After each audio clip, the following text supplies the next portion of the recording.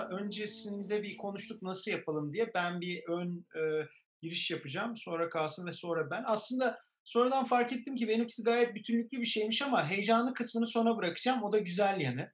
E, çünkü e, son bölümde ben e, dine hakaret ve din kaynaklı başkalarına hakaret meselesini, saldırı meselesini konuşacağım. Sınır yani nefretin özel bir kategorisini ve burada da aslında biraz daha da hani merak yaratayım. E, Diyanet'in Ankara Barosu'nun tepki gösterdiği e, açıklamasını bir Diyanet'in açıklaması, bir Ankara Barosu açıklaması üstünden şey yapacağım ama e, ilk başta bu sınır meselesini biraz genel çizmek istiyorum. Aslında e, sonunda geleceğim yerde bu e, çizdiğim çerçeve üstünden değerlendirme olacak. Şimdi e, sıklıkla duyduğumuz bir e, ifade var. Efendim hiçbir hak sınırsız değildir diyorlar. Aslında sınırsız olan haklar var. Mesela işkenceyi, e, işkence görmeme hakkı mutlak bir hak. Hiçbir şekilde sınırlandırılamıyor. E, işte saatli bomba durumunda bile e, e, olmayacağını söylüyoruz. E, o yüzden de biz hani hakları mutlak haklar ve nitelikli haklar olarak e, sınıflandırıyoruz. Ve ifade özgürlüğü e, sınırlandırılabilen bir hak olduğu için e, o ifade yanlış ama ifade özgürlüğü açısından doğru e, nitelikli bir hak. E, nitelikli bir hak olması da bazı durumlarda sınırlandırılabildiği anlamına e, geliyor. E, onun için sınırları meselesine baktığımızda da hangi durumlarda sınırlandırılabilir, hangi durumlarda ifade özgürlüğü daha ağır basar. Bunun çok basit, basit tanımı benim sıkıcı olan e, sunumumun ilk bölümü olacak. Ama bazı şeyleri hatırlatma amaçlı belki görülebilir. E, de dediğim gibi sonda bağlamayı düşünüyorum buraya. E, anayasanın 13. maddesi var. Hukukçu olmayanların bile bildiği bir e, hüküm olduğunu tahmin ediyorum ama yine de hatırlamakta fayda var. Diyor ki o madde temel hak ve hürriyetler özlerine dokunmaksızın yalnızca anayasanın ilgili maddelerinde belirtilen sebeplere bağlı olarak ve ancak kanunla sınırlanabilir. Bu sınırlamalar anayasanın sözüne, ruhuna, demokratik toplum düzeninin ve laik cumhuriyetin gereklerine ve ölçülük ilkesine aykırı olamaz. Şimdi eskiden anayasanın 13. maddesinde bu sınırlandırmanın sınırı olma dışında bir de e, genel sınırlandırma sebepleri vardı. E, yakın zamanlara kadar e, derslerde e, ve genel e, sohbetlerde böyle bir genel sınırlandırma sebebi kalmadı artık diyorduk ama biraz sonra söyleyeceğim aslında var. Yani e, Anayasa Mahkemesi iştahıyla da e, gelişen iyiye de yorabileceğimiz, kötüye de yorabileceğimiz. Şu ana kadar hep kötüye yorulan ama iyiye yorulma potansiyeli de taşıyan bir genel sınırlandırma şeyi de var. Ona geleceğim ama gelmeden önce bu 13. madde ne demek istiyor ona bakalım. Bir hakkı tanımlıyor. O hakkın nasıl sınırlandıracağının tarifini veriyor. Diyor ilgili maddede ne yazıyorsa o. Şimdi ilgili maddede ifade özgürlüğüyle ilgili 26. madde o da diyor ki herkes düşünce ve kanaatlerini söz, yazı, resim veya başka yollarla tek başına veya toplu olarak açıklama ve yayma hakkına sahiptir. Şu uzatmamak için devamını söylemiyorum. İşte radyo, televizyon vesaireden de bahsediyor. Sonra da diyor ki ama bu hürriyetinlerin kullanılması milli güvenlik, kamu düzeni, kamu güvenliği, cumhuriyetin temel nitelikleri ve devletin ülkesi ve milletiyle bölünmez bütünlüğünün korunması, suçların önlenmesi, suçluların cezalandırılması, devlet sırrı e, olarak usulünce belirtilmiş bilgilerin açıklanmaması, başkalarının şöhret ve haklarının özel ve aile hayatlarının yahut kanun gördüğü meslek sırlarının korunması veya yargılama görevinin gereğine uygun olarak yerine getirilmesi amacıyla sınırlanabilir. Şimdi eğer 13. madde tek başına olsaydı ve sadece bu bununla yetinmiş olsaydık e, bunu uygulayacaktık. Şimdi buradaki kamusal hukuki değerler ve özel hukuki değerler meselesine geri dönme e, üzere bu hususu burada bırakıyorum. Çünkü e, aslında anayasa böyle demekle birlikte biraz ileri gidince görüyoruz ki as, e, anayasanın e, sistematiği içinde de aslında insan hakları hukuku sistematiği içinde de tek sınırlandırma sebebi bu değil. İki tane daha şeyin olduğunu söylememiz lazım. Şimdi bu önce bir hakkın olduğunu varsaydıktan sonra o hakkın nasıl sınırlandıracağını söylüyor. Ama iki tane dediğim e, işte e, Türkiye'deki literatüre Fazıl Sağlam e, tarafından e, sokulan e, Müller'in ayrımı ama bu farklı hukuk sistemlerinde ve insan hakları hukuku rejiminde farklı ifadelerle kendileri hani ki şey daha var sınırlandırma. Aslında bu sınırlar e, anayasal sınırdan farklı olarak e, dışarıdan gelen değil, hakkın kendisiyle doğrudan yapısıyla, doğasıyla ilgili olduğu söylenen sınırlandırmalar. Bunlardan birincisi nesnel sınırlar. Yani önce bir şey ifade mi? Hani bu diyorlar ya e, insanların hakkı vardır. Bu insan bile değil mesela. Aslında bu hani çok karikatürize ettiğim şeyin ifade özgürlüğü açısından da e, bir e, benzer karşılığı var. Biri gerçekten ifade olmayan, e, o yüzden nesnel olarak ifade olmadığı için ifade özgürlüğünün kapsamının içerisine girmeyen e, bir şekilde insanın çıkardığı ses vesaire olabilir. E, daha netleştirebilmek için somutlaştırmam lazım. E, şimdi nesnel sınır şunu söylüyor.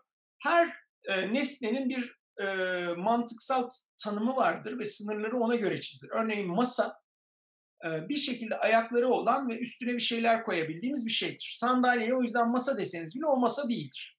Aynı şekilde dolap işte kapakları olan içine bir şeyler koyduğumuz bir şeydir. Atıyorum pencereye dolap dediğiniz zaman o dolap haline gelmez. Bu nedenle ifadenin ifade olması için nesnel sınırı bir başkasına bir duyguyu, düşünceyi vesaireyi aktarma amacıyla söylenmesidir. O yüzden benim ses çıkarıyor olmam ifade olduğu anlamına gelmez. Başka bir hak kategorisine girebilir. Benim sıklıkla verdiğim bir örnek var. Hani duşta şarkı söylüyorum, kimsenin duymasını hedeflemiyorum. Sesim de çok kötü. Ee, yine de ses çıkarıyorum. Bir özel hayat meselesi olabilir ama e, hani oradakinin ifade özgürlüğü meselesi olması için başkasına ulaşmasının engellenmesi, sınırlandırılması vesaire hani nesnel sınır açısından düşünülebilir. Ama daha kritik olan nesnel sınır tartışması içeriği nedeniyle e, ifade olarak görülmemesi bir ifadenin. Bunun e, Türkiye'deki hukuktaki en kötü uygulamalarından birini yine sıklıkla örnek veriyorum, e, vereceğim anlaşılması açısından Yargıtay Ceza Genel Kurulu'nun Hrant Dink kararı. Hrant Dink kararında Yargıtay Ceza Genel Kurulu şöyle demişti.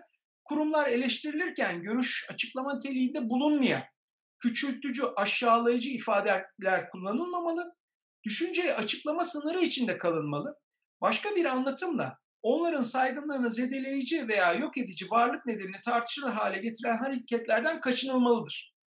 Bu kapsamda herhangi bir düşünce açıklaması olarak değerlendirilemeyecek beyanlar veya açıklamalar hukukun korumaya aldığı düşünce ve hürriyet kavramı dışına taşıyacağından fiile hukuku, hukuka uygunluk niteliği kazandıracak eleştiri hakkı olarak da nitelendirilemezler. Dikkat ederseniz burada biraz önceki nesnel sınırın içeriye bağlı olarak tanımlandığını görüyoruz. Yani diyor ki belli içerikler e, ifade sayılmazlar. İfade sayılmayacakları için de onların e, korunmaları mümkün değildir. Şimdi ilk başta bu e, hani çok abartılı gözükebilecek e, şeyin aslında bir de e, gerçekten e, makul bir uygulaması da var e, gerek anayasanın 14. maddesi gerekse Avrupa İnsan Hakları Sözleşmesi'nin 17. maddesi hakların kötüye kullanılmasını yasaklıyor.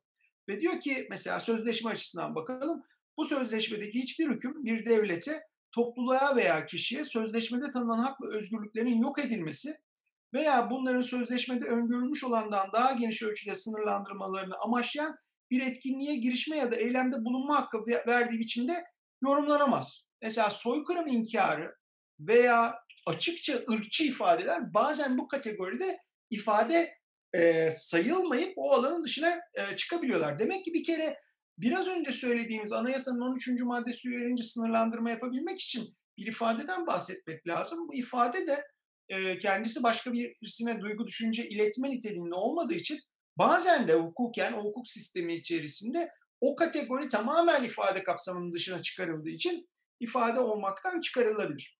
Ama buna ek olarak bir de içkin sınır meselesi var. Şimdi biraz önce söyledim anayasanın 13. maddesi geldikten sonra genel sınırlandırma sebebinin kalktığını söylüyoruz ama aslında öyle değil. Gerçekten de Anayasa Mahkemesi kendisi mesela anayasanın 20. maddesindeki özel hayata saygı hakkı ile ilgili şöyle diyor. Diyor ki bu maddeyle ilgili özel sınırlandırma sebebi yazılmamış ama diyor ona ona pardon e, bu hiçbir şekilde sınırlandırılması mümkün değildir denemez bu hak diyor. Anayasanın 12. maddesinde diyor düzenlendiği üzere temel hak ve hürriyetlerin kişinin topluma, ailesine ve diğer kişilere karşı ödev ve sorumluluklarını da ihtiva ettiğini düşünerek yorumlamamız lazım bunu diyor. Bir kere içkin böyle bir sınırı var. Yani kullanacağınız her hak, e, hak için 12. maddedeki ödevle birlikte düşünmeniz lazım diyor. Dahası diyor, anayasanın diğer maddelerinde yer alan kurallara dayanarak da bu hakları sınırlandırılması mümkün. Yani o maddede saymasa bile anayasanın bir bütününden bir sistematik olarak bakıp böyle bir sınır çıkarmamız mümkün diyor. Ve nihayet anayasanın 5. maddesini hatırlatıyor. Diyor ki devletin temel amaç ve görevleri Türk milletinin bağımsızlığını ve bütünlüğünü, ülkenin bölünmezliğini, cumhuriyeti ve demokrasiyi korumak, kişilerin ve toplumun refah, huzur ve mutluluğunu sağlamak, kişinin temel hak ve hürriyetlerini sosyal hukuk devleti ve adalet ilkeleriyle bağdaşmayacak surette sınırlayan siyasal, ekonomik ve sosyal engelleri kaldırmaya, insanın maddi ve manevi varlığının gelişmesi için gerekli şartlamaya şartları hazırlamaya çalışmaktır diyor. Buna göre kişilerin ve toplumun refah, huzur ve mutluluğunu sağlamak temel, devletin temel amacı olduğuna göre bütün hakları da buna göre yorumlamak gerekir diyor. Yani bakın e, bir kere bir nesnel sınırımız var ama Anayasa Mahkemesi diyor ki aynı zamanda bir içki sınırı da var. Yani siz o hakları kullanırken eğer bunlara zarar veriyorsanız bu sistematiği bozacağınız için orada da müdahale etmek e, gerekir diyor ve bunu söylediği e, CA3 kararında e, anayasada açıkça bir sınırlandırma sebebi olmamasına rağmen e, başvurucunun e, temel hakkının sınırlandırılması meşru görüyor. Şimdi ama diyelim ki diyelim ki nesnel ve e, içkin sınırları aştık ortada bir hakkımız var. Sınırlandırma sebepleri 13. madde uyarınca nasıl çalışacak? E, o zaman iki grup aslında e, sınırlandırma e, daha doğrusu bir dengelemeye giriyoruz. Yani e, bir hakkımız var ama bu hakkın karşısında e, işte Dworkinci e, manada söylersek bir koz var elimizde. Karşıda da başka kozlar var. Hani o diyor ya hakları ciddiye almak lazım. Bizim kozumuz çok güçlü. Anayasa diyor ki başka ne kozlar olabilir? Efendim bir kamusal hukuki değerler olabilir. İşte milli güvenlik, kamu düzeni, kamu güvenliği gibi. Bir de özel hukuki değerler olabilir. Başkalarının şöhret ve hakları, özel ve aile hayatlarının korunması gibi. Bunların yarıştığı yerde ifade özgürlüğünün daha güçlü bir koz olup olmadığını tekrar bakacağız o zaman. Yani e, eğer diğer sınırlandırma sebepleri nedeniyle ifade sayılamayacak bir şeyle karşı karşıya değilsek, elimizde bir ifade varsa bu ifadenin yarışa girmesi. Hani somut bir iki örnek verip e, ardından Kasım'a sözü vereyim. E, nedir hani o kamusal değerler? Mesela işte MİT tırları meselesi. Diyorlar ki kardeşim milli güvenlik söz konusu, e, milli güvenlik söz konusu olduğunda e, ifade özgürlüğünden daha ağır basan bir kamusal e, değer söz konusu. E, e, ya da işte e, Emine Erdoğan'ın çantasının fiyatı söylendiğinde Ender İmre'ye hakaret davası açıldığında e, gördüğünüz üzere hani onun kişilik hakları var, özel e, hukuki değerler. Sen onun çantasının pahalı olduğunu söyleyerek e, bu arada şaka değil gerçekten böyle bir dava var. Onun için hani oradaki yarışı görme açısından senin ifade özgürlüğün e, sınırlandırılabilir e, deniyor. E, sadece kendi bölümümün, ikinci bölümünün ipucunu vereyim. E, bazen bunlar, ipucunu şöyle vereceğim. Bazen bunların hangisinin daha güçlü olduğunu da anlamayabiliriz. Yani acaba karşımızdaki bir özel hukuki değer mi, kamusal hukuki değer mi? Din mesela kamusal bir hukuki değer midir toplum düzeni, kamu düzenini korumak için? Yoksa bir başka kişinin hak ve özgürlüğü müdür korunan? Yani oradaki yarışmaya giren şey acaba ifade özgürlüğünün karşısında o dinin kutsallığı, devletin kutsallığı mesela 301. E, maddede olduğu gibi hatta bunun çok somut kişiselleşmiş örnekleri de var. Cumhurbaşkanına hakaret suçunda korunan şey acaba Cumhurbaşkanı olan gerçek kişinin haysiyeti, onuru mudur? Yoksa Cumhurbaşkanı olan kişinin temsil ettiği kurum itibariyle kamusal bir değer midir? Yani bu e, her zaman çok kolay bir şekilde cevaplanamayabilir. Nitekim yıllar önce e, Charlie Hebdo e, web sitesi e, erişime engellendiğinde e, bir e, kişilik hakları e, meselesi üstünden gidilmişti. E, ve gerekçesi şöyle bir şeydi. E, o e, inancı sahip olan kişilerin ama üstüne üstlük de bir kamu kurumu e, başvurmuştu bunun için. İyice nasıl çorba olduğunu göstermek açısından söylüyorum bunu. E, o inanca sahip olanların kişilik haklarıyla Charlie Hebdo sitesinin ifade özgürlüğü arasında bir denge e, kurulduğunu ve bu dengenin kişilik hakları açısından o ifade özgürlüğü aleyhine ağır bastığını e, söylemişti erişim engelleme kararı veren e, hakimlik. Onun için her zaman bu özel hukuki değerle kamusal hukuki değeri çok nette görmeye e, biliriz diyerek ben e, buraya bir virgül koyayım. Şimdi şu genel olarak ben aslında ifade özgürlüğüne bakışımı belki söyleyebilirim. Çok tabii özel bir haktan bahsediyoruz ifade özgürlüğü dediğimizde. Ee, yani evet mutlak haklar arasında değil e, ama hayli öncelikli bir konumda. E, gerek e, uluslararası uygulama, özelde de Avrupa İnsan Hakları Mahkemesi ve sözleşme açısından baktığımızda e, ifade özgürlüğü problemi temel problemlerden bir tanesi. Çünkü bir defa çok kolay ihlal edilebiliyor ve üzerinde çok sayıda da içtihat var haliyle e, ifade özgürlüğünün. E, bizim gibi ülkelerde de biz ifade özgürlüğü dediğimizde hani e, gidiyoruz gidiyoruz bir de geri dönüp bakıyoruz ki bir arpa boyu yol gitmişiz. Yani tekrar tekrar aynı şeyleri tekrar tekrar konuşmak durumunda kalıyoruz. O yüzden aslında nefret söylemi meselesi, ifade özgürlüğü meselesi 80'lerde, 90'larda nefret söylemi demeyeyim ama ifade özgürlüğü çok tartışıldı, çok konuşuldu. Buna dair belli bir birikim elde etmiştik ama her kuşakta yeniden yeniden bunları anlatmak gerekiyor. İfade özgürlüğü sade suyu, suya tirit bir özgürlük değil, bir hak değil bu anlamda demokrasinin birlikte yaşamanın üzerine kurulu olduğu bir e, hak kategorisinden e, bahsediyoruz. Diğer hak ihlallerini dile getirebilmek için bizim ifade özgürlüğü hakkına ihtiyacımız var. E, çok sayıda e, hakkı talep etmek için, bunları dile getirebilmek için de ifade özgürlüğüne ihtiyacımız var ve biz bugün şimdi son oturumda bunun nasıl sınırlandırılabileceğini e, konuşuyoruz. Çünkü yine Türkiye gibi çok kültürlü, çok bölünmüş, yaşam tarzları, inançları farklı kategorilere ayrılmış bir toplumda e, ifade özgürlüğü başka hak kategorileriyle çatışmaya girme, işte din vicdan özgürlüğü olabilir bu. E, ayrımcılık e, yasağı benim bugün aslında daha fazla üzerinde duracağım. E, çeşitli haklarla tartışma içerisine girme e, ihtimali var. Nitekim Avrupa İnsan Hakları Mahkemesi'nde daha sonra nasıl belki sınırlandırdığını değineceğim ama çok geçerken söylemek adına Jersild Danimarka kararında örneğin diyor ki ırka dayalı ayrımcılığın tüm biçimleriyle ve tezahürleriyle mücadele etmenin yaşamsal önemde olduğunun özellikle bilincindeyiz diyor. Dolayısıyla bir takım ayrımcılıklar söz konusu olduğunda ifade özgürlüğünü de sınırlayabiliriz diyor. Keza yine işte Gündüz Erbakan kararlarında söylediği ulaşılmaya çalışılan meşru amaçla orantılı olması kaydıyla ki burada bir takım ilkelerini de söylüyor. Demokratik toplumlarda hoşgörüsüzlüğe dayalı nefreti yayan, körükleyen, teşvik eden veya meşrulaştırılan ifade biçimlerinin yaptırıma tabi tutulabileceğine tutulabilecektir. Hatta engellenecektir. Bu da ilkesel bir şeydir diyor. Dolayısıyla karşımıza aslında bütün bunlara baktığımızda bir ifade özgürlüğünün sınırlandırılabileceği bir takım meşru sebepler çıkıyor ve bunların arasında en temellerinden, en bilindiklerimizden bir tanesi ayrımcılık yasağı. Ayrımcılık yasayla da ilişkili olarak, eşitlik hakkıyla da ilişkili olarak aslında nefret söylemi. Nefret söylemi dediğim gibi 80'li 90'lı yıllarda belki bu kadar çok tartışmıyorduk ama 90'ların sonu 2000'lerin başıyla daha fazla üzerinde konuşmaya, tartışmaya başladık. Çünkü bu bölünmüş, farklı farklı kategorilere bölünmüş toplumlarda bir takım gruplara ilişkin yapılan, dile getirilen ayrımcı söylem sonuçta bir takım e,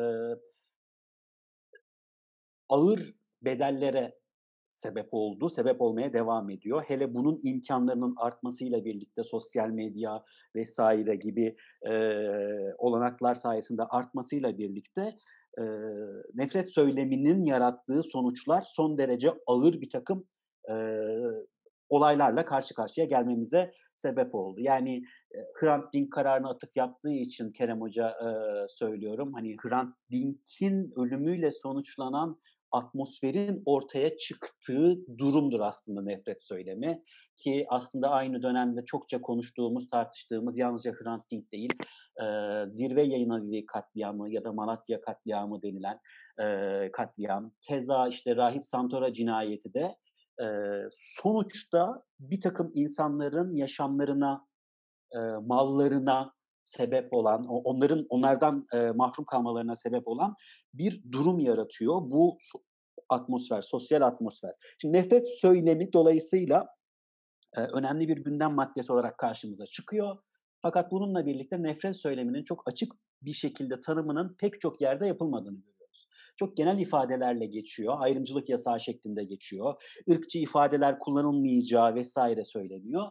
Fakat çok doğrudan bunu tanımlama e, dan kaçındığını gerek sözleşmelerin, anlaşmaların gerekse e, mahkemelerin e, doğrudan tanımlamaktan kaçındığını aslında görüyoruz. Ama buna ilişkin elimizde tabii çok temel bir belge var. Avrupa Konseyi Bakanlar Komitesi'nin nefret söylemi başlığını taşıyan bir e, tavsiye kararı var. 97'ye 20 e, diye bilinen kararı e, Avrupa Konseyi Bakanlar Komitesi'nin diyor ki e, bu tavsiye kararında nefret söylemi kavramı ırkçı nefreti, yabancı düşmanlığını, Yahudi düşmanlığını veya azınlıklara, göçmenlere ve göçmen kökenli insanlara yönelik saldırgan ulusalcılık ve etnik merkezcilik, ayrımcılık ve düşmanlık şeklinde ifadesini bulan, dinsel hoşgörüsüzlük dahil olmak üzere hoşgörüsüzlüğe dayalı, hatta nefret biçimlerini yayan, kışkırtan, teşvik eden veya meşrulaştıran her türlü ifade biçimini kapsayacak şekilde e, anlaşılacaktır, anlaşılmalıdır. Dolayısıyla bir mutlaka belli bir kişiye veya belli bir gruba yönelik farklı nedenlere dayanan ayrımcılıklardan kaynaklanan bir e, ifadenin yasaklanabileceğini görüyoruz nefret söylemi kavramının içerisinde. Nedir peki bu ayrımcılık içeren hususlar? Irkçı nefret olabilir, dini nedenlerle nefret olabilir, saldırgan milliyetçilik ve etnik merkezcilik şeklinde ifadesini bulan hoşgörüsüzlüğe dayalı bütün başka türler olabilir. Bunun içerisinde bu nefret söylemi ifadesinin Bakanlar Komitesi'nin kararında, tavsiye kararında yok ama toplumsal cinsiyete dayalı, homofobiye dayalı bir takım söylemler de söz konusu olabilir. Dolayısıyla bir nefret söylemi kavramıyla karşı karşıya kaldığımızda hukukçu arkadaşlar için başta olmak üzere söylüyorum ama yani herkesin tabii ki bakması gereken hususlar var. İşte Avrupa Konseyi'nin tavsiye kararları var. Az önce söylediğim 97'ye 20 sayılı nefret söylemi konulu kararı gibi veya yine 97 yılında medya ve hoşgörü e, kültürünün geliştirilmesi konulu tavsiye kararı gibi, e, medyada siyasi tartışma özgürlüğü konulu Bakanlar Komitesi kararı gibi, Avrupa Konseyi'nin par- Parlamenterler Meclisi'nin kararları gibi, Venedik Komisyonu'nun e, dini hoşgörüsüzlük, e, blasfemi raporu gibi veya ırkçılık ve e, hoşgörüsüz, e, hoşgörüsüzlüğe karşı Avrupa Komisyonu gibi ki bu e, ırkçılık komitesi diyebileceğimiz, ırkçılık ve hoşgörü, ırkçılığa karşı komite diyebileceğimiz komitenin 7 sayılı genel politika kararında ırkçılık, ırk, renk, dil, din, milliyet ve ulusal veya etnik köken gibi bir gerekçenin bir kişinin veya grubun hakim görünmesini veya bir kişi veya grubun üstünlüğü fikrini meşrulaştırdığı düşüncesi olarak ele alınıyor. Dolayısıyla ırkçı ifadelerle mücadele ederken de bir takım ifadelerin sınırlandırılabileceği ifade ediliyor. Tabii ki bu sınırlandırmanın etkili olması, orantılı olması, caydırıcı bir yaptırım içermesi gerekiyor. Şimdi tabii bizim bu genel girişten sonra e, e, bakmamız gereken şey, yer e, daha ziyade uygulamada karşımıza çıkan şey Avrupa İnsan Hakları Mahkemesi'nin bu konuyla ilişkili iştihatları, ifade özgürlüğünün düzenlendiği Avrupa İnsan Hakları Sözleşmesi'nin 10. maddesi ve aynı zamanda e, sınırlandırmanın yapıldığı e, az önce Kerem Hoca'nın da söylediği 17. madde. E, 10. madde e, ifade özgürlüğünü düzenliyor. Herkes ifade özgürlüğüne sahiptir. Bu hak kamu makamlarının müdahalesi olmaksızın, ülke sınırları gözetilmeksizin kanaat özgürlüğünü, haber ve görüş alma ve de verme özgürlüğünü kapsar. Ayrıca buna Avrupa İnsan Hakları Mahkemesi'nin içtihatlarıyla sanatsal ifade özgürlüğü, hatta ticari nitelikte bilgi e, iletme özgürlüğü ve bunun için kullanılacak araçlara sahip olma ve kullanma özgürlüğü de eklenmiş durumda. Şimdi karşısına bir e, ifade özgürlüğüyle ilişkili dava geldiğinde Avrupa İnsan Hakları Mahkemesi ve ayrımcılıkla, nefret söylemiyle ilişkili madde geldiğinde Avrupa İnsan Hakları Mahkemesi'nin uyguladığı ikili filtre sisteminden söz edebiliriz belki. Birincisi 17. madde, az önce söylendiği gibi hakları kötüye kullanma yasağıdır 17. madde. Ve 17. madde diyor ki bu sözleşmede yer alan hiçbir hak, hüküm e, burada tanınan hak ve özgürlüklerin yok edilmesi amacıyla kullanılamaz diyor. Dolayısıyla Avrupa İnsan Hakları Mahkemesi şöyle yapıyor. Önüne bir e, olay, vaka geldi. Bakıyor diyor ki acaba bu bu başvuruda bu sözleşmede yer alan bir hakkın kötüye kullanılması mı söz konusu? Örneğin e, Komünist Parti Federal Almanya kararında e, diyor ki e, eskice bir karar tabii. E, o kararında diyor ki e, işte e, proletarya diktatörlüğü sözleşmeye aykırı. Burada bir hakkın kötüye kullanılması söz konusu. Dolayısıyla 17. maddeye ben bakarım. Başvuruyu doğrudan reddederim diyor. Hiç içeriğine bile bakmadan.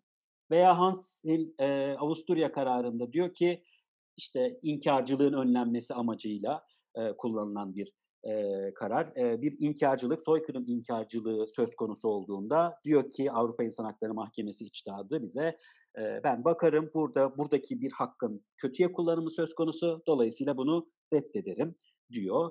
E, işte ırkçı nefret söylemiyle ilişkili kararlarında da işte Jersey davasında Norwood Birleşik Krallık kararında e, 17. maddeyi bir filtre mekanizması olarak kullanıyor. 17. maddeye dayanarak reddediyor. Norwood Birleşik Krallık davası ilk kez bir Müslüman grubu hedef alan saldırı bağlamında e, kullanılmış olan bir e, karar. E, ona da tekrar e, belki dikkat çekmek gerekebilir. 17. madde kapsamında bir hakkın kötüye kullanılması yasağı yoksa mahkeme bu defa 10. maddenin ikinci fıkrasını e, devreye sokuyor. İkinci filtre mekanizmasını devreye sokuyor. O da şu, görev ve sorumluluklar da yükleyen bu özgürlüklerin kullanılması, yani ifade özgürlüğünün kullanılması, yasayla öngörülen ve demokratik bir toplumda ulusal güvenliğin, toprak bütünlüğünün, kamu güvenliğinin korunması, kamu düzeninin sağlanması ve suç işlenmenin önlenmesi, sağlık, ahlak, başkalarının şöhret ve haklarının korunması, gizli bilgilerin yayılmasının önlenmesi veya yargı erkinin yetkin tarafsızlığının güvence altına alınması için e, sınırlandırılabilir diyor. Yani şunu söylüyor 10. maddenin ikinci fıkrası bize. Bir, acaba bir ifade özgürlüğüne yönelik bir müdahale var mı? İlk önce buna bakalım. Eğer bir müdahale varsa bu müdahale kanunla öngörülmüş bir müdahale midir? Ee, üç, e, acaba burada az önce saydığımız meşru sebeplerden biri söz konusu mu? Yani bir ulusal güvenlik, toprak bütünlüğü veya kamu güvenliği yararı söz konusu mu? Kargaşa veya suçun önlenmesi söz konusu mu? Sağlığın, genel ahlakın veya başkalarına e, saygınlık, e, başkalarının saygınlığına yönelik bir durum söz konusu mu? Buna e, bakarım diyor. Ve dört, acaba bu amaçların e, bu şekilde engellenmesi e, demokratik toplumda müdahaleyi zorunlu kılıyor mu diyor. Dolayısıyla mahkeme önüne bir e, olay geldiğinde, ifade özgürlüğüyle ilgilendiren bir husus geldiğinde e, dikkate aldığı hususlar 17. madde ve 10. maddenin ikinci fıkrası olarak karşımıza çıkıyor. E, nefret söylemi burada işte bir ifadenin içeriğinin bir kargaşa yaratabileceği, başkalarının saygınlığının ve haklarının korunmasını gerektirecek bir unsur olarak karşımıza çıkıyor. Mahkemenin nefret söylemi kavramını aslında çok fazla kullanmadığını görüyoruz. Yani doğrudan nefret söylemi kavramını kullanmayı çok fazla sevmiyor mahkeme e, aslında diğer uluslararası dediğim gibi mekanizmalarda çok fazla nefret söylemine atıfta bulunmayı sevmiyorlar. Çünkü neyin nefret olarak nitelendirileceği, neyin nefret içerdiğini ifade etmek, bulmak her durumda o kadar kolay değil. bu zorunluluktan, bu zorluktan kaçınmak için de neyin nefret olduğuna dair bir tanım getirmekten genel olarak kaçındığını söyleyebiliriz. Şimdi Türkiye açısından düşündüğümüzde, ele aldığımızda nefret söylemi e, Türk Ceza Kanunu'nun e, 216. maddesinde düzenlenmiş bir e, husus olarak karşımıza çıkıyor. Nefret kelimesini kullanmadan. Maddenin başlığı şu, halkı kim ve düşmanlığa tahrik veya aşağılama. 216. madde aslında 3 tane hususu düzenliyor. 3 ayrı suç var bunun içerisinde. Bir tanesi halkın sosyal sınıf, ırk, din, mezhep veya bölge bakımından farklı özelliklere sahip bir kesimine diğer kesimi aleyhine kin ve düşmanlığa tahrik etmek ve bunun kamu güvenliği açısından bir tehlike yaratması suçu. Yani bir kesimi diğer kesim aleyhine e, kin ve düşmanlığa tahrik etme suçu. İkinci e, fıkrada yine halkın bir kesimini yukarıda sayılan sebepler, sosyal sınıf, ırk, din, mezhep, e, bu sefer cinsiyet de var işin içerisinde ve bölge farklılığına dayanarak aşağılama suçu ve nihayet üçüncüsü ki az sonra herhalde Kerem Hoca ona değinecek, halkın bir kesiminin benimsediği dini değerleri alenen aşağılama suçu. Dolayısıyla aslında üç tane suç var. Bir tanesinde bir kesimi diğerine karşı tahrik etme suçu, İkincisinde bir kesiminin farklı farklı özellikleri nedeniyle onları aşağılama suçu. Üçüncüsü ise 216'ya 3 dediğimiz şey halkın bir kesiminin benimsediği dini değerleri aşağılama suçu söz konusu. Ee, çok uzatmak hani çok e, şey içerisine girmek için e, çok daha fazla hukukçuluk yapmamak adına e, uzatmıyorum ama hani işte burada korunan e, şey kimdir, korunan değer kimdir, e, suçla korunan kamusal değer kimdir? Suçu kim işleyebilir? Suçu maddi unsurları nedir? Taksirle işlenebilir mi? Kastla işlenebilir mi? Vesaire meselelerine çok fazla girmek istemiyorum. Ama benim dikkat çekmeye çalış çalışmak istediğim, bunu gündeme getirme sebebim şu. 216. madde düzenlemesinde e, Türkiye'de ifade özgürlüğü ihlalleri söz konusu olduğunda neredeyse en fazla karşımıza çıkan maddelerden biri olduğunu görüyoruz 216. maddenin. Nitekim 216. E, maddeye dair çok sayıda kuruluş, e, Avrupa Güvenlik İşbirliği Teşkilatı, Avrupa Konseyi İnsan Hakları Komiserliği, Birleşmiş Milletler İnsan Hakları Komitesi kararları veya yine az önce söylediğim gibi Venedik Komisyonu kararlarında 216. madde uygulamasıyla ilişkili Türkiye'de ciddi bir sıkıntı olduğunun ifade edildiğini görüyoruz. Şimdi peki neden insan e, ifade özgürlüğünün meşru bir e, sınırlama sebebi Türkiye uygulaması söz konusu olduğunda e, bir sıkıntı veya işte çeşitli mekanizmalar tarafından özellikle dikkat çekilen bir madde haline geliyor.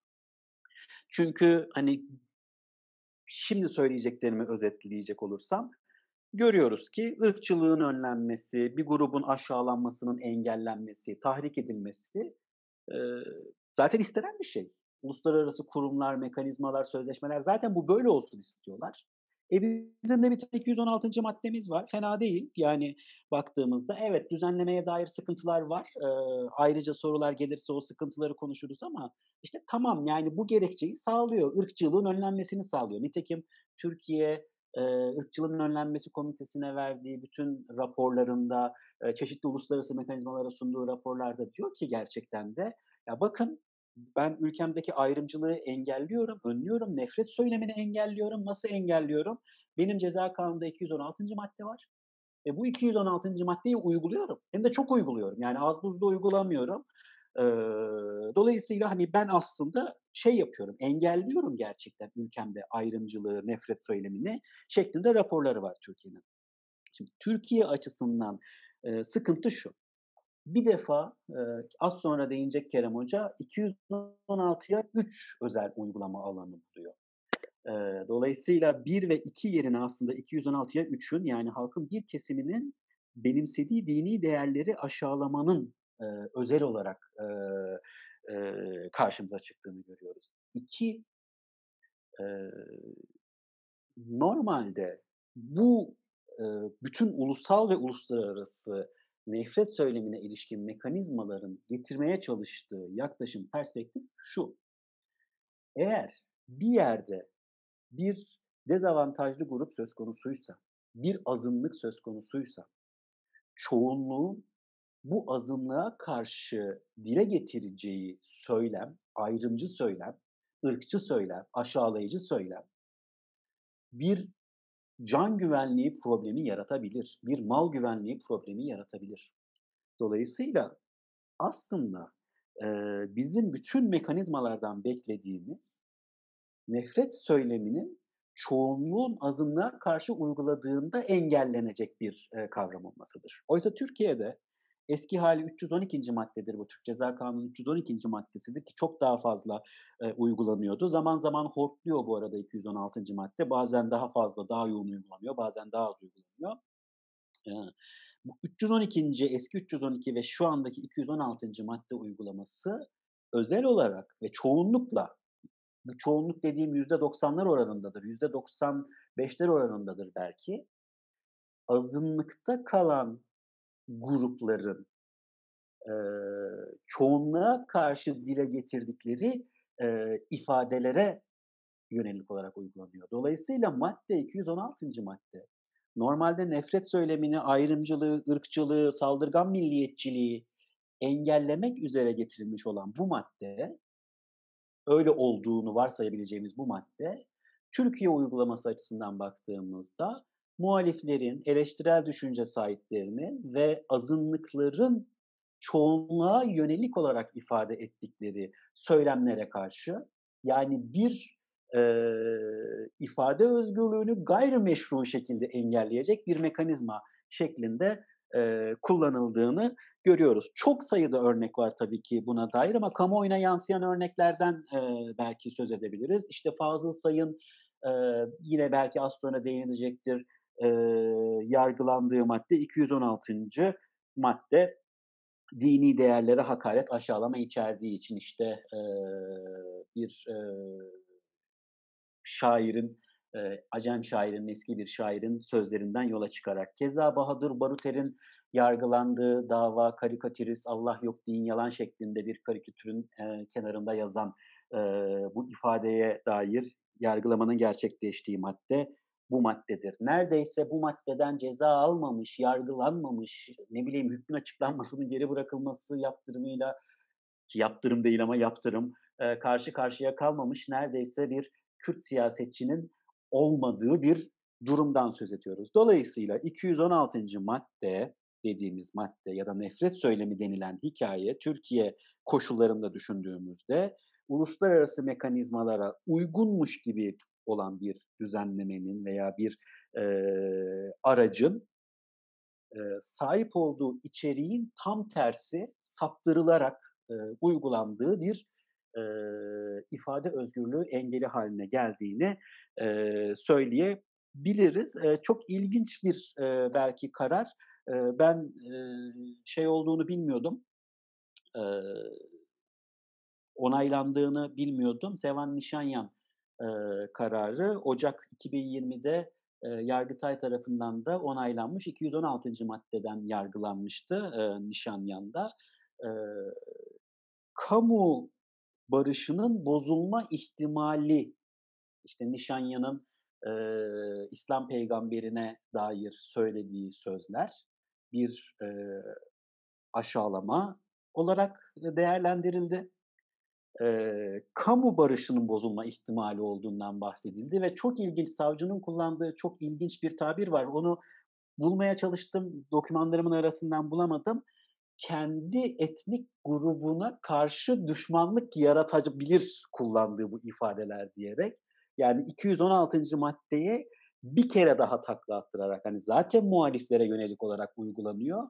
Fakat Nişanyan'ı e, kendisine rağmen kendi e, etnik grubunu, kendi sahip olduğu cemaate e, karşı çoğunluğu yönlendirebilir bu kullandığı ifadeler deyip kendisinden korumaya e, çalışır şekilde u- uygulandı ve e, dediğim gibi Ocak 2020'de de e, onaylanmış durumda. E, şimdi ben e, iki tür ifadeyi tam bu sınır meselesi ve nefret meselesi üstünden e, konuşmak istiyorum çünkü.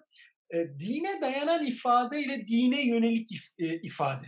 Şimdi e, kastım şu, e, bu şöyle bir tartışma var. Bir e, kişinin sözleşmedeki 9. madde kapsamında korunan hakkı ne zaman korunur? Yani ne zaman gerçekten bir kişi inanır, inanan bir kişi olarak e, bir şey yapıyordur ve din ve vicdan özgürlüğü içerisine girer? Ne zaman e, girmez e, diye. Aslında e, ben buna şöyle yaklaşmak gerektiği kanaatindeyim.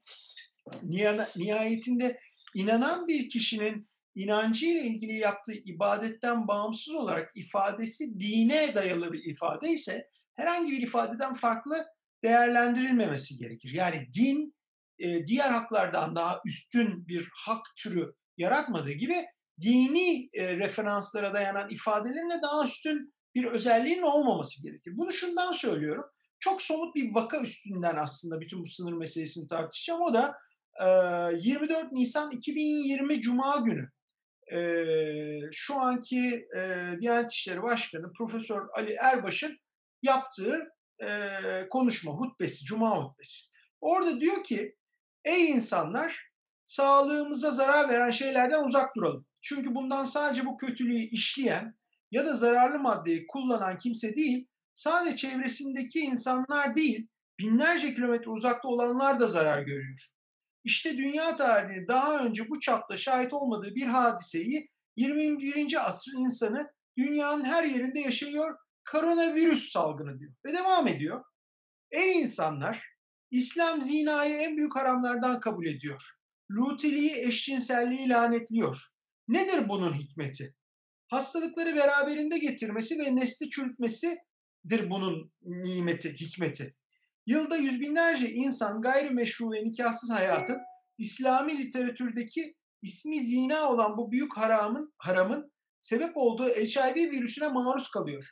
Geliniz bu tür kötülüklerden insanları korumak için hep beraber mücadele edelim. Şimdi dikkat ederseniz bu konuşmada önce koronavirüs hastalığından, salgından bahsediliyor ve hani eğer aptal değilsek onun kaynaklarından biri olarak zinayı ve eşcinselliği gösteriyor ve bununla mücadele edilmesi gereken bir şey olduğunu söylüyor. Buna cevaben benim de üyesi bulunduğum Ankara Barosu bir açıklama yapıyor ve diyor ki e, şaşkınlığımız sesi çağlar öncesinden gelen bu şahsın bir devlet kurumunun başında oturup söylemini kutsal sayılan değerler üzerine inşa ederek halkı kim ve düşmanlığa tahrik etmesindeki kan kokan cürreti sebebiyedir. Sebebiyledir.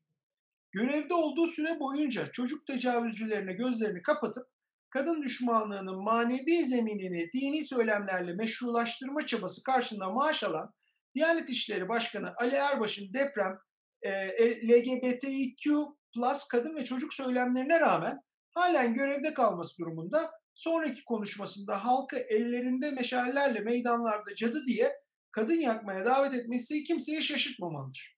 Şimdi tam da 216. madde meselesi Ankara Barosu diyor ki bu adamın yaptığı konuşma 216. madde e, kapsamına girer.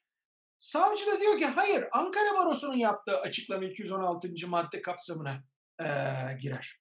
Şimdi bu nedenle biri Ankara Barosu dine yönelik ifade nedeniyle aslında yargılanıyor. Ee, Diyanet İşleri Başkanı'nın konuşmasının meşruluğunu savunanlar da dine dayanan bir ifade. Canım bizim inancımız bunu söylüyor. Biz bu inancımıza uygun olarak e, bu söylenen şeyin cezalandırılmasına müsaade edemeyiz e, diyorlar. Şimdi öncelikle şunu açıklığa kavuşturayım. Bazen burada da görüyor normal artık e, sosyal medyada çok gördüğümüz bir şey. Hocam hukuk mu kaldı falan filan. Şimdi bunu bir kenara bırakıyorum. Biz insicamlı bir e, seküler bir hukuk sisteminde hani mantıklı bir şekilde nasıl e, tartışabiliriz buna bakıyoruz. Onun için hani o tartışmayı bir kenara bırakıyorum. Evet yani Ankara Barosu cezalandırılabilir. Diyanet İşleri Başkanı çok daha fazlasını söyleyip hiçbir şey olmayabilir. O bir kenara. E, ancak hani tutarlı bir insan hakları e, siyasetini nasıl savunabiliriz biz böyle bir durumda? Çünkü hani dindar bir insan da şunu diyemez mi? İyi de benim dinle, dini inancım e, eşcinsellerin Almanların, her neyse e, gayrimüslimlerin lanetlenmesini gerektiriyor. Yani ben lanetleyemez miyim o zaman? İfade özgürlüğü bunu da e, kapsamalı değil önce izin verirseniz e, biraz tekrar pahasına da olsa Kasım'ın söylediklerinin üstüne e, bir ayrımı vurgulamak lazım. Dinsel kaynaklı nefret söylemi olabilir mi? Olabilir.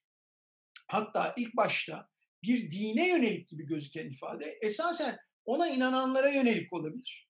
Ve bu nedenle cezalandırılması da gerekir. Ama buradaki temel ayrım e, blasphemy ile religious insult'la yani e, dine yönelik e, ifadelerle religious hatred yani din o dine inananlara yönelik nefret arasındaki ayrımı yapmaktan geçiyor. Bu çok kolay bir ayrım değil. E, ama Seval Nişanyan aslında tam da bunu söylemişti. Ben bu ifadeyi Fransa'da söylemiş olsaydım orada e, dinsel bir nefret söylemi olarak sayılabilir ama burada sayılamaz demişti.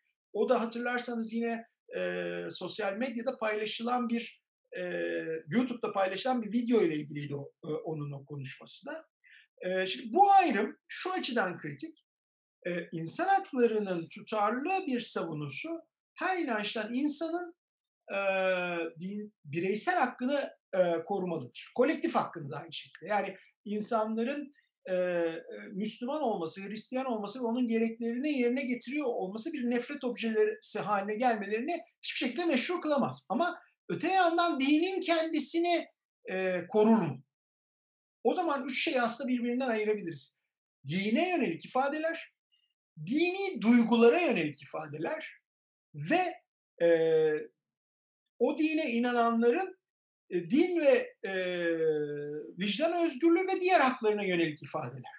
Şimdi insan hakları hukukunun e, en azından açık olarak koruduğu kategori üçüncü kategori. Yani e, o dinin mensuplarının temel hak ve özgürlüklerini koruyor. Ama o dini korumuyor. Bu nedenle aslında e, peygambere yönelik, dine yönelik, o dinin kutsallarına yönelik ifadelerin e, e, insan hakları hukuka tarafından korunması mümkün değil. Onu koruyan e, kuralların da ifade özgürlüğünü ihlal etmemesi mümkün değil. Ama ara kategori yani ben çok üzüldüm bundan. Dinime yönelik söylenen bir şey beni çok üzdü. E, ben üzüldüğüm için benim de e, saldırıya uğramama hakkım var meselesi esas kritik olan husus bu. Ben önce kendi görüşümü söyleyeyim. Ben bu e, grup e, e, bunda e, hukuken korumaya e, değer olmadığı kanaatindeyim. Ama uluslararası insan hakları hukukunun bu kadar net olduğunu tabii ki iddia edemeyeceğim. E, bir kısmı e, bahsedildi tahmin ediyorum. Benim kaçırdığım kısmında bilmiyorum. Otto Preminger e, vesaire kararlar ama e, en e, hani yakın tarihli örneklerinden biri FES Avusturya kararı. E, bu e, peygamberin e, küçük yaşta bir e, kızla evlenmesi nedeniyle eleştirildiği bir Avusturyalı siyasetçinin davası.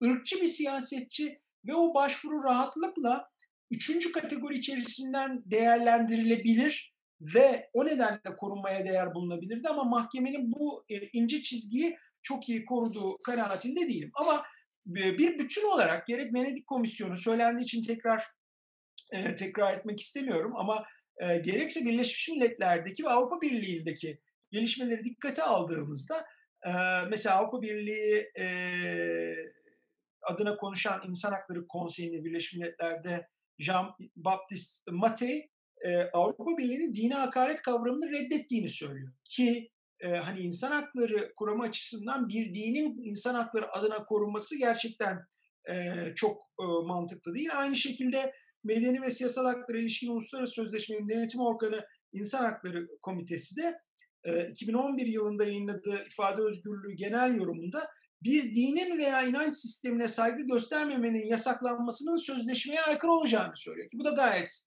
e, makul. Yani bir dini koruyan bir insan hakları e, kuralı olamaz.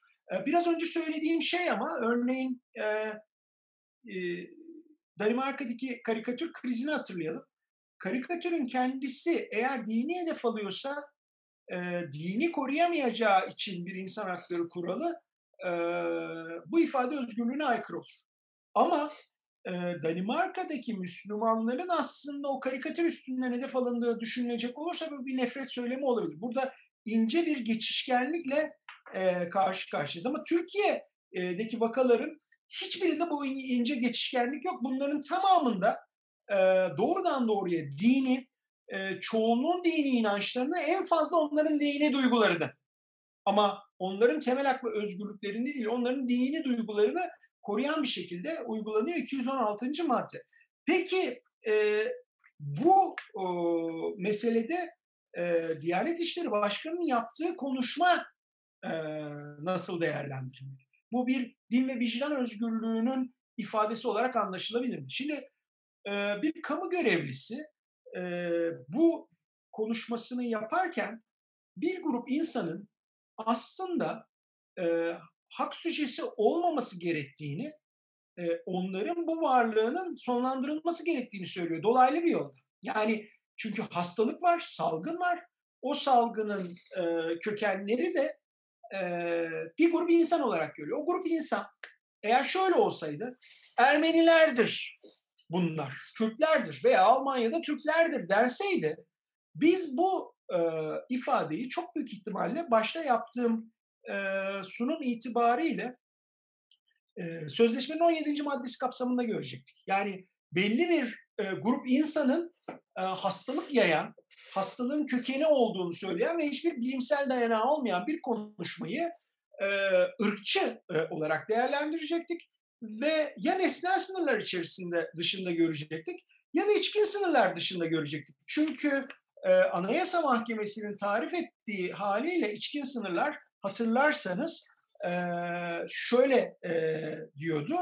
E, anayasanın 5. maddesini e, şey yaparak kişinin temel hak ve hürriyetlerini sosyal hukuk devleti ve adalet ilkeleriyle bağdaşmayacak surette sınırlayan engelleri kaldıracak diyordu 5. E, madde. Devlete bunu e, yüklüyordu ve temel hak ve özgürlüklerin de bu nedenle sınırlandırılabileceğini söylüyordu. Aynı şekilde 12. maddeyi belirterek diyordu ki temel haklar ve hürriyetler kişinin topluma, ailesine ve diğer kişilere karşı ve ödev ve sorumluluklarını da ihtiva eder diyordu. Yani sen Diyanet İşleri Başkanı olduğun sırada herkese karşı belli bir eşit özgürlük standartına uygun hareket etmek yükümlülüğü altındasın.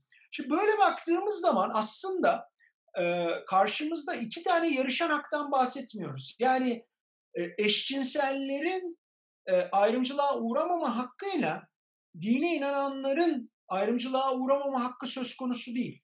Yani o iki haktan birini tercih ediyor değiliz.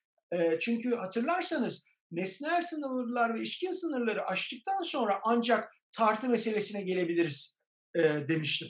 Ama eğer ortada e, içkin ve nesnel sınırlar açısından bir hak yoksa ki herhangi bir kişinin insan olarak varlığını reddetmek e, bu anlamda bir hakkın varlığının olmadığını ortaya koyar. Artık bir hakkın karşısında bir başka hakkı yarıştırma e, durumu söz konusu değil. Bu nedenle Ankara Barosu Diyanet İşleri Başkanlığı tartışması yanlış bir yere sürüklenmiş bir tartışma gibi geliyor bana. Yani din ve vicdan özgürlüğü karşısında LGBT'lerin ve işte bir de zina aslında o unutuldu tabii. Esas e, öbürü daha kolay olduğu için hedef e, bir de zina yapanların hakkı bir yarış içerisinde değil. O yüzden de Ankara Barosu'nun yaptığı açıklamayla bu da bir açıklama, bu da bir açıklama, bu da din ve vicdan özgürlüğünü ifade ediyor değil. Eğer bir din ve vicdan özgürlüğü ifadesi herhangi bir ifadeden farklı değilse bizim için ki baştan böyle olamayacağını söyledim. Bunun farklı olmasını gerektiren hiçbir hukuki e, gerekçede göremiyorum. Bir başka grup insan e, topluluğunun özellikleri nedeniyle ister cinsel yönelim, ister, ister cinsiyet, ister inanç, isterse etnik köken itibariyle e, onların yok olması, buna karşı mücadele edilmesini e, söylüyorsa bir ifade, dinden kaynaklanan ifade olması onu daha güçlü korumayı gerektirmeyeceği için e, bunun e, yani bir başka insan grubunun varlığını reddeden ifadenin tam da üstüne üstlük bakın sınırlandırma için getirilen Anayasa Mahkemesi iştahatları uyarınca artık ifade sayılamayacağı ve cezalandırılmasının meşru olduğunu söylüyorum. Şöyle bağlayayım. En başta Hrant Dink e, konuşmasıyla, Hrant Dink vakası ile ilgili Yargıtay Ceza Genel Kurulu'nun kararından bahsetmiştim. Yargıtay Ceza Genel Kurulu diyordu ki kurumların eleştirilmesi e, eğer sert olursa ifade sayılamaz. Hiç böyle bir gerekçe yok. Ama insanların insan sayılmaması ifade sayılamamaz. Çünkü barış içerisinde eşit ve özgür yurttaşlar olarak yaşayabilmek için öncelikle hepimizin eşit haklara sahip özgür bireyler olduğunu kabul etmek zorundayız ve bir kamu görevlisi 80 bin camide okunan bir hutbede bunu söylüyorsa ve bunu reddediyorsa artık tam da bu korunmayı hak etmeyen bir ifade türüdür. Buna karşı çıkmak da çok meşru bir e, e, hak ve özgürlük olarak e, karşımızda durur. E, ve o konuşmayı sınırlandırmak iddiasıyla ileri sürülen eğer din ve vicdan özgürlüğü varsa ifade özgürlüğüyle yani Ankara Barosu'nun ifade özgürlüğüyle kıyaslandığında yarışmaya girdiğinde orada koz meselesine geri dönelim. Din ve vicdan özgürlüğü kozu ifade özgürlüğünden tutarlı bir insan hakları politikası içerisinde daha ağır basamaz. Diyerek ben de tamam.